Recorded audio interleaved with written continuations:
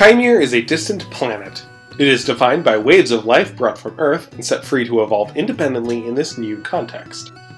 The indigenous life of the planet, swarms of microbes called magic by the people who live there, are what harvest Earth organisms and make copies on Kaimere.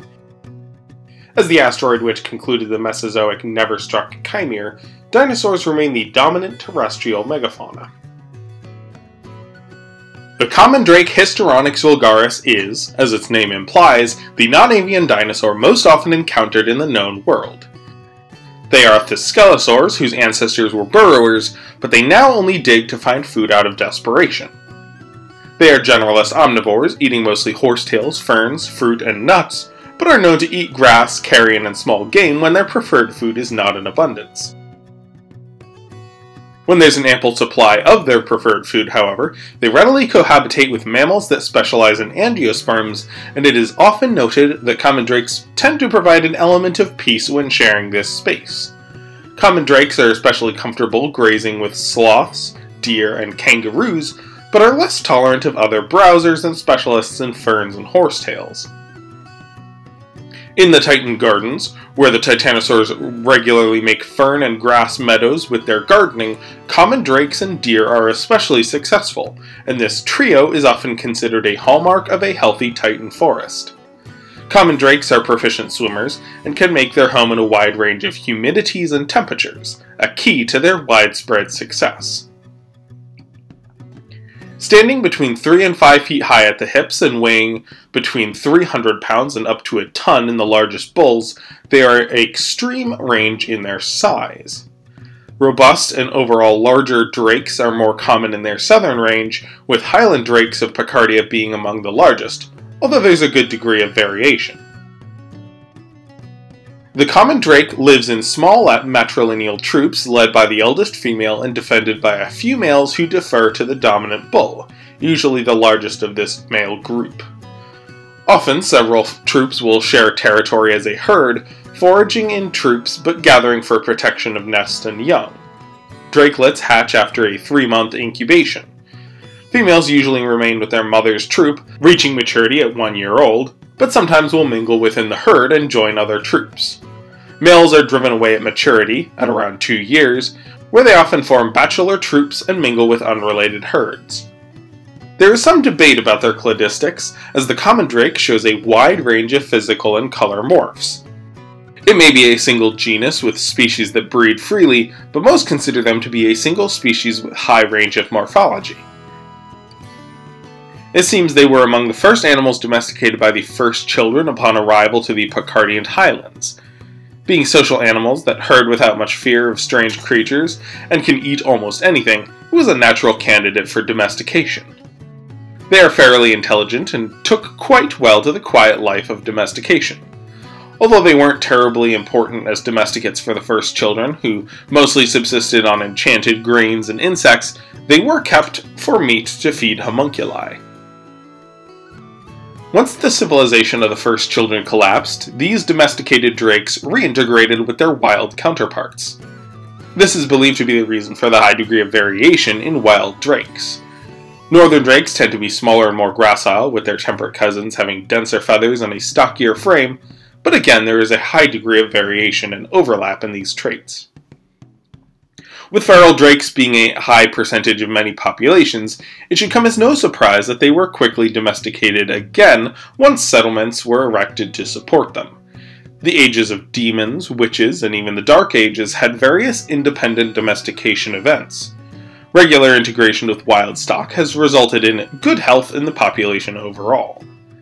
Most people of the known world have common drakes, with breeds specialized for meat, livestock guardianship, labor, and even in some cases, mounts for war and sport. Although quills are mostly bred out of domesticates and their breeds that possess them must be trimmed before being saddled, and the spurs and claws of males coupled with their aggression means that they must be regularly groomed. But with a little maintenance, they can be quite impressive and versatile livestock. The meat is usually preferred by farmers over beef since they can grow faster on less food and can pasture in a wide range of terrain. Their meat is highly regarded. As nesters, which push to capacity, Females can regularly lay a dozen large eggs a week as long as they aren't fertilized and given plenty of food, making them prized producers. In the wild, common drakes are a popular target for megafauna specialists. While they sometimes run from danger, being defended by quills and sharp plates to deter rear assault, they usually stand their ground, circling around young and harassing threats with beak and claw. Males can be particularly aggressive, biting and raking their talons and spurs into potential threats. They will chase down and kill threats to their young, which is why most mammal predators flee common drakes and many herbivores run toward them. The red panther is the only mammal predator that regularly attacks them. Pouncing from the side to avoid the quills and biting the back of the neck can result in a reliable takedown, although they usually only attempt this against solitary drakes. Cockatrices are perhaps their most prolific predator, gobbling up drakelings and mobbing adults. The thick hide and fat of males' throats can be primarily to protect them from each other, but it certainly helps against a predator whose primary weapon and method of attack is a talon to the throat. Lone common cockatrices are known to bring down common drakes many times their size on their own, but drakes are well documented to give back as good as they get, and on numerous occasions a drake and cockatrice are found having shared the same fate death by the claws of the other, with the drake having ripped open the fell bird, and the cockatrice's talons piercing its throat and locked in place. Thank you all so much for joining me today. This is a quick and unplanned episode as I need more time to work on the river monsters, which has been postponed until next week. I thank you for your patience on the matter, and I've gotten a lot of excitement, and I hope you all enjoy. I also have an announcement to make. As YouTube is rolling out their membership program, I decided to jump in. Much like my Patreon, there isn't going to be a lot of perks. I really want to avoid making Kaimere a project that requires people to pay for engagement. That said, I do have my own bills to pay, and the more money I make on Patreon, the fewer commissions and extra gigs I have to take, which means more time for videos. Patreon and sponsorships have been instrumental in getting me to where I am today, and I am endlessly grateful for that. The membership tiers are as follows Kaimeran Snapper, the Sage, $1.99. Indukai, the Trickster, $4.99. Katabo, the Reef Warden, $9.99. Hukogor the Architect, $14.99. Juraz Hent the Curator, $24.99. And the Kurujaku River Maker, $49.99.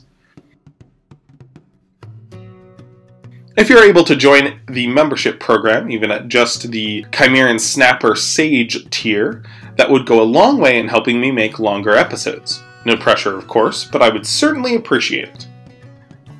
Thank you all so much, and I'll see you next week when we explore the murky waters of Kaimere's lakes and rivers to discover all the Piscine monsters lurking below the surface.